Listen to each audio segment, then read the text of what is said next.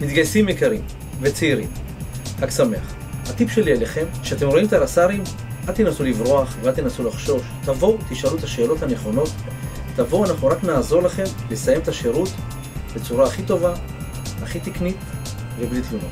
אני סתיו, מש"קית אש בשדה דוב, והטיפ שלי אליכם זה להיות חברים של הטבחים, ככה תוכלו להשיג את האוכל הכי שווה בכל שעות היום. לא להשתמש במימייה, או אם אתם כן משתמשים במימייה, לפחות תנקו אותה לפני.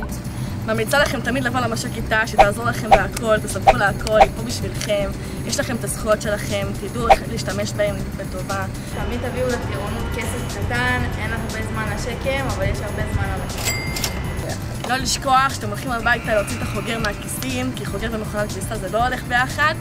אתם הולכים להתקלח, המקלחת, הרצפה נראית נקייה, תעשו טובה לעצמכם, תקנו כפפים, תלכו רק איתם, לא ללכת יחפים. תמיד כשאתם נכנסים פעם ראשונה לחדר בטירונות, ואיפה שיש שקע. ליהנות מהשירות, לא משנה באיזה תקופה, וחג שמח.